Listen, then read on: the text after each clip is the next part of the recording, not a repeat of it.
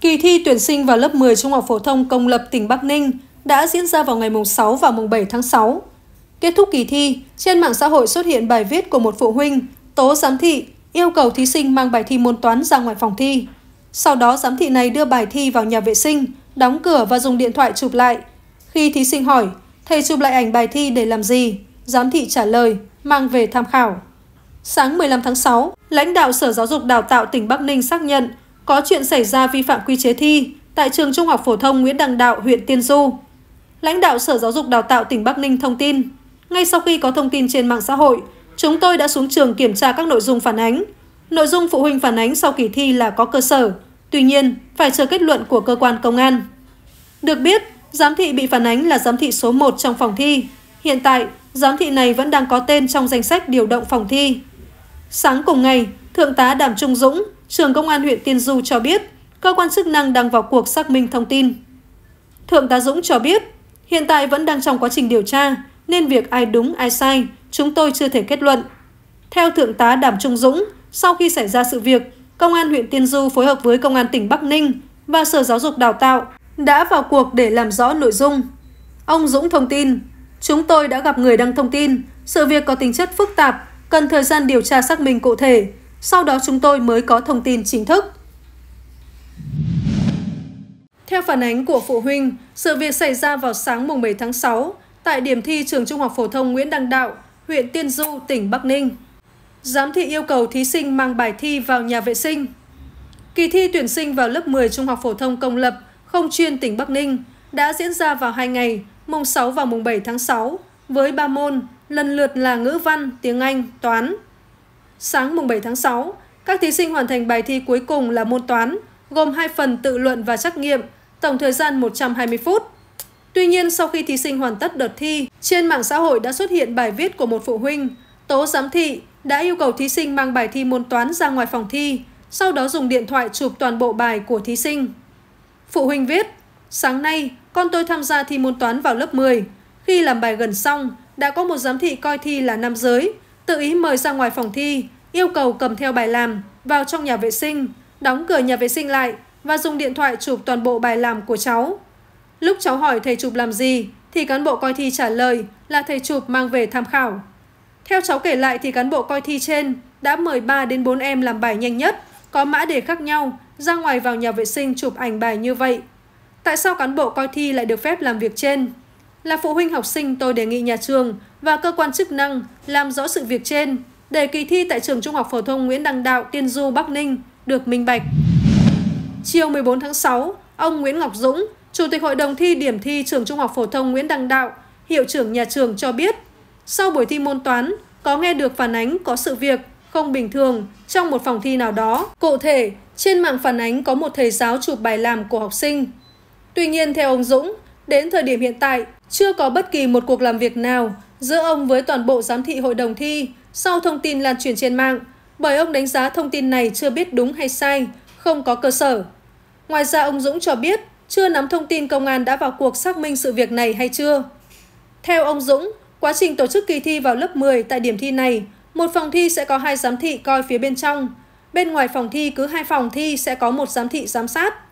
Ngoài ra, mỗi tầng có một đồng chí lãnh đạo giám sát khu vực thi. Dưới khu vực thi có công an làm nhiệm vụ.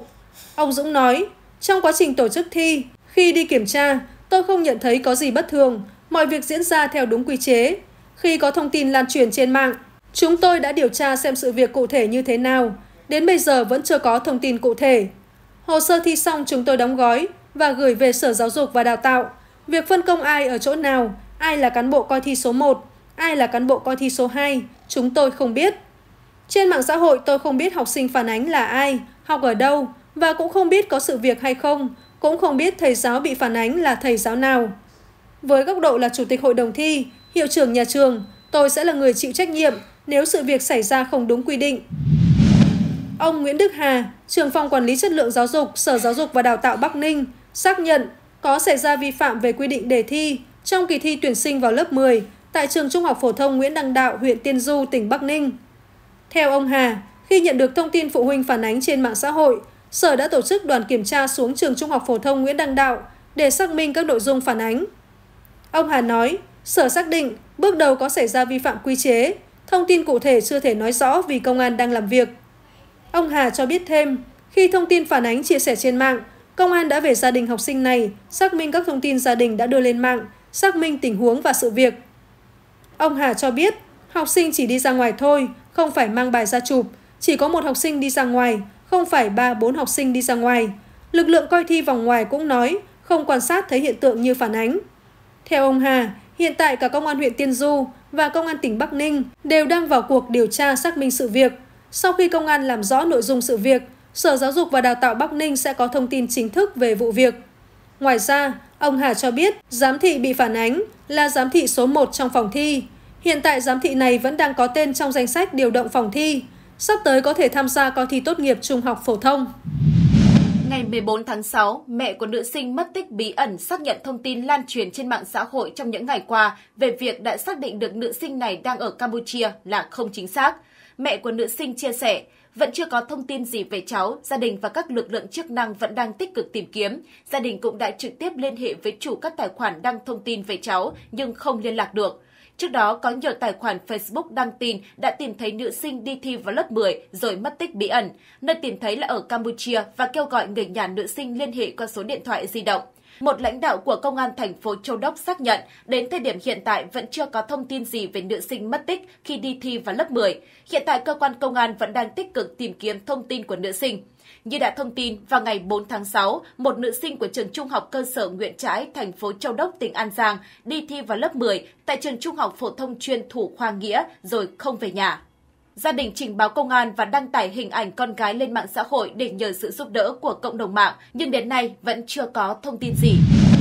Tối ngày 8 tháng 6, gia đình em học sinh bị mất tích bí ẩn khi đi thi vào lớp 10 ở thành phố Châu Đốc, tỉnh An Giang cho biết, vẫn chưa có thông tin gì về con của mình. Một lãnh đạo công an thành phố Châu Đốc xác nhận hiện vẫn chưa có thông tin gì về nữ sinh này. Các cơ quan chức năng đang khẩn trương giả soát và tìm kiếm thông tin liên quan. Bên cạnh đó, gia đình nữ sinh cũng cho biết đã cùng với các ngành chức năng xác định khoanh vùng một số khu vực nghi vấn. Trong đó, khu vực gần nhà và một khu vực gần biên giới giáp với Campuchia là hai nơi mà gia đình và cơ quan chức năng đang quanh vùng tập trung tìm kiếm. Mẹ của nữ sinh lo lắng. Hiện tại, gia đình đã nhờ tới sự trợ giúp của lực lượng biên phòng để tìm kiếm thông tin về cháu.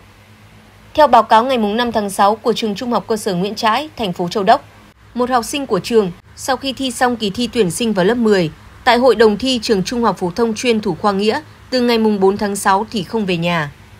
Ngay sau đó, Ủy ban Nhân dân tỉnh An Giang đã đề nghị Công an tỉnh chủ trì phối hợp với Sở Giáo dục và Đào tạo, Ủy ban Nhân dân thành phố Châu Đốc và các đơn vị liên quan khẩn trương kiểm tra, xác minh nguyên nhân vụ việc. Sở Giáo dục và Đào tạo, Ủy ban Nhân dân các huyện, thị xã, thành phố chỉ đạo các cơ sở giáo dục tăng cường quản lý học sinh, có biện pháp ngăn ngừa, không để xảy ra sự việc tương tự. Ngày 7 tháng 6, Ủy ban Nhân dân tỉnh An Giang đã có văn bản yêu cầu làm rõ thông tin vụ nữ sinh trường Trung học cơ sở Nguyễn Trãi, thành phố Châu Đốc, đi thi kỳ thi tuyển sinh lớp 10 nhưng sau đó không thấy về nhà. Theo Ủy ban Nhân dân tỉnh An Giang, trước đó trường Trung học cơ sở Nguyễn Trãi, thành phố Châu Đốc đã có báo cáo về việc học sinh của trường sau khi thi xong kỳ thi tuyển sinh vào lớp 10 ngày 4 tháng 6 tại Hội đồng thi Trung học phổ thông chuyên thủ khoa Nghĩa, thành phố Châu Đốc nhưng không về nhà. Ủy ban Nhân dân tỉnh An Giang đề nghị Công an tỉnh chủ trì, phối hợp với Sở Giáo dục và Đào tạo, Ủy ban nhân dân thành phố Châu Đốc và các cơ quan, đơn vị có liên quan khẩn trương kiểm tra, làm rõ nguyên nhân vụ việc nêu trên. Đồng thời, tỉnh yêu cầu Sở Giáo dục và Đào tạo, Ủy ban nhân dân huyện, thị xã, thành phố chỉ đạo các cơ sở giáo dục tăng cường công tác quản lý học sinh. Có biện pháp ngăn ngừa, không để xảy ra các trường hợp tương tự trong thời gian tới, báo cáo kết quả về Ủy ban nhân dân tỉnh. Trước đó trên mạng xã hội Facebook xuất hiện bài đăng của một phụ huynh nhờ cộng đồng mạng tìm giúp con gái đi thi tuyển sinh lớp 10 nhưng sau đó không trở về nhà. Bài đăng có nội dung con gái em NTBA, học sinh lớp 9A7 trường Nguyễn Trãi. Đi thi tuyển sinh trường Thủ Khoa Nghĩa đến nay chưa thấy về. Anh chị em có gặp nhắn tin cho em biết. Em cảm ơn xin hậu tạ, nhờ cộng đồng mạng chia sẻ dùm, em cảm ơn. Bài viết đăng kèm theo bức ảnh một bé gái mặc lễ phục tốt nghiệp, tay cầm tấm bằng tốt nghiệp. Bài viết đã nhận được hàng ngàn lượt chia sẻ và bình luận quan tâm. Trong bình luận chủ bài viết cũng bày tỏ sự lo lắng và mong muốn cộng đồng mạng giúp gia đình tìm được con. Ông Nguyễn Văn Hiếu, Giám đốc Sở Giáo dục Đào tạo Thành phố Hồ Chí Minh cho biết, Sở đã nắm được thông tin em Nguyễn Thị Yến Nhi là học sinh trường Trung học cơ sở Nguyễn An Ninh, quận 12, là thí sinh dự thi lớp 10, không đủ sức khỏe để tiếp tục thi môn toán vào sáng nay, ngày 7 tháng 6. Giám đốc Sở Giáo dục Đào tạo Thành phố Hồ Chí Minh cho biết, Sở đang xem xét vận dụng các quy định để em Nguyễn Thị Yến Nhi được tuyển thẳng vào lớp 10 công lập. Theo đó, bố trí sắp xếp để em học ở trường gần nhà tạo điều kiện thuận lợi trong quá trình học tập. Được biết vào sáng ngày 7 tháng 6, trong buổi dự thi môn toán, em Nguyễn Thị Yến Nhi không đủ sức khỏe để tiếp tục thi môn toán. Ngay lập tức, gia đình đã đưa Nhi vào bệnh viện trợ rẫy cấp cứu. Nhi là thí sinh đặc biệt trong kỳ thi tuyển sinh năm nay. Trong ngày thi đầu tiên ngày 6 tháng 6, Nhi được hỗ trợ đến điểm thi bằng xe cứu thương. Trước kỳ thi, em bị tai nạn, bị gãy đốt sống lưng và ngực, phải nằm một chỗ. Cô Nguyễn Ngọc Vàng là giáo viên chủ nhiệm cho biết, 4 năm liền Nhi là học sinh giỏi của trường. Sau khi xảy ra sự cố, nhà trường đã tạo điều kiện tối đa để Nhi học tập và thi cử. Các bài giảng được gửi cho Nhi qua Zalo hoặc là bố trí cho em học trực tuyến với thầy cô. Riêng thi cuối kỳ, giáo viên mang đề thi đến nhà cho Nhi làm.